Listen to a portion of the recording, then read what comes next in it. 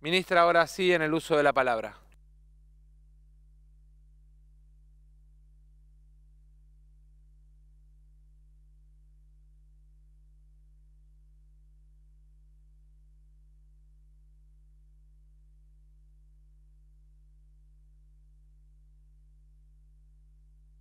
Ahí está. Ahí, ahora sí. Hola a todos, hola a todas. Eh, bueno, primero que nada, eh, hacerles saber que efectivamente nos están acompañando, además de Andrea Lescano, que es la mamá de Micaela García, y de Néstor Yuyo García, que es quien nos dirigió la palabra, Analía Rach Quiroga y Araceli Ferreira, dos de las diputadas que promovieron que hoy estemos nosotros y nosotras acá, eh, en un hecho que efectivamente, además de, de, la, de las particularidades que son evidentes y obvias para todos y todos, es también un hecho histórico encontrarnos en un momento donde por lo menos más de 170, no solo diputados, sino diputados y diputadas, están dándose lugar a la primera capacitación en perspectiva de género, a la primera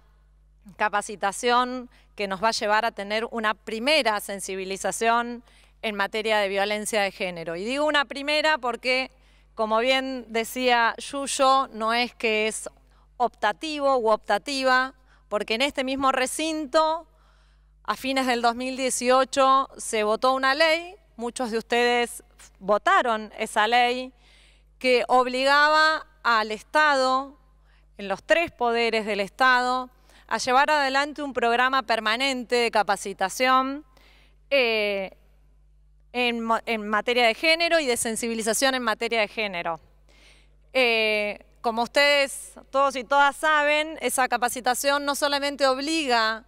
a las máximas autoridades de los tres poderes del Estado, sino a todos los trabajadores, trabajadoras, funcionarios, funcionarias sin importar ni tipo de contratación ni el área en particular en el que se desempeñen en capacitarse.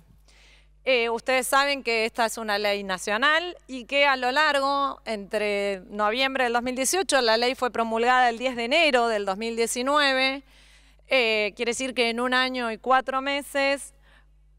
a excepción de la provincia de Corrientes, todas las provincias han adherido a la ley Micaela. Quiere decir que el horizonte de proyección que tenemos como Estado es que todos los funcionarios y funcionarias y trabajadores y trabajadoras de todos los poderes provinciales y del poder ejecutivo, del poder ejecutivo, legislativo y judicial de la nación, en un periodo que debemos ponernos intentando que no sea largo, estén capacitados y pensar que es un, un, un programa de capacitación permanente teniendo en cuenta centralmente que eh, los funcionarios y funcionarias, trabajadores y trabajadoras, obviamente van renovándose en sus cargos y en sus funciones. Eh, ustedes saben que a partir del 10 de diciembre la institucionalidad en materia de género en nuestro país se vio modificada. Hoy tenemos un Ministerio de las Mujeres, Géneros y Diversidad que ha jerarquizado las políticas de género eh, y que nos coloca como autoridad de aplicación de la ley Micaela a nivel nacional. Eh, en este sentido, la mm, competencia primaria que tenemos como ministerio es la de capacitar a las máximas autoridades de los tres poderes y es por eso que hoy estamos dando cumplimiento a la, a la primera parte de la capacitación, ahora voy a contar cuál va a ser la dinámica, eh, de la Cámara de Diputados y Diputadas de la Nación, decirles que en el mes de, a comienzos del mes de marzo, si no me equivoco, el 4 de marzo capacitamos ya al Senado. Eh, lo hicimos de forma presencial, estábamos en otras circunstancias. Y decir que el 10 de enero, a un mes exacto de la nueva gestión de gobierno y a un año exacto de la promulgación de la ley, capacitamos al presidente de la Nación y al, al, al gabinete ampliado, es decir, no solamente a los 21 ministros y ministras, sino también a los secretarios y secretarias de todos los ministerios. En ese momento hubo una decisión del gobierno nacional que fue revertir una lógica que se venía llevando adelante en la capacitación de la ley Micaela, que ya tenía un recorrido para el mes de enero de este año, que fue comenzar por las máximas autoridades, entendiendo que ustedes, al igual que las máximas autoridades de todos los poderes, son quienes tienen una mayor responsabilidad respecto de las obligaciones que ha asumido el Estado argentino en materia de género, algunas de las cuales comentó al inicio, cuando hizo uso de la palabra Yuyo García, y otras tantas que vamos a ir viendo. Sabemos que ha habido déficit en la implementación, en parte por la federalización, en parte por la falta de reglamentación de la ley, en parte entendemos que también requiere una decisión política, por eso desde el Ministerio celebramos fervientemente que hoy, en el reinicio de las actividades de la Cámara, estemos por lo menos más de 170 diputados y diputadas asistiendo a la capacitación.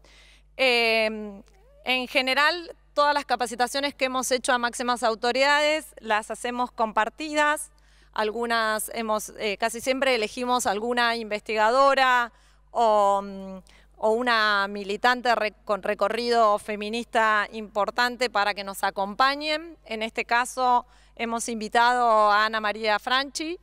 es química de profesión, pero es política, investigadora y actualmente es presidenta del CONICET, eh, con quien voy a compartir la capacitación. Eh, la idea es que Ana María comience una primera parte de la capacitación y la segunda mitad la voy a llevar adelante yo. Eh, como voy a, concluir, lo que nosotros convocamos particularmente es, hay muchos de los conceptos eh, y de, las, eh, de, las, de los aspectos que vamos a, comentar. Ustedes imaginan, es muy corto el tiempo que tenemos, sobre todo en esta, en, este, en esta primera capacitación. Hay muchas las cuestiones que vamos a decir que somos conscientes que para muchos y para muchas, veo algunas compañeras feministas en el recinto y otras que nos están acompañando,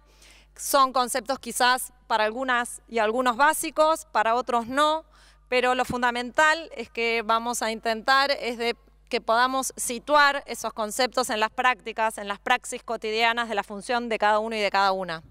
La idea es que hoy cada uno y cada una pueda por lo menos llevarse alguna pregunta sobre qué tiene, qué hizo, qué puede hacer, no solamente en la función legislativa, sino sobre todo teniendo en cuenta que como funcionarios públicos tienen equipos a cargo, forman parte de las estructuras de la administración pública y la idea de que el ejemplo que estamos dando nosotros hoy también es algo que estamos marcando historia,